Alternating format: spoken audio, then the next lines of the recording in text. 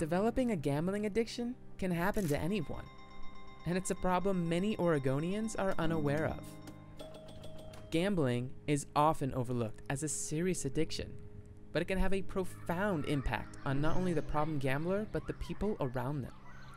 In many instances, there's a direct link between problem gambling and financial and family problems.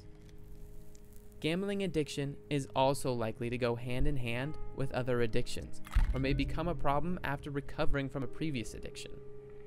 But help for problem gamblers and their loved ones is available. It's free, confidential, and it works. Problem gamblers don't have to be alone. Learn how to get help today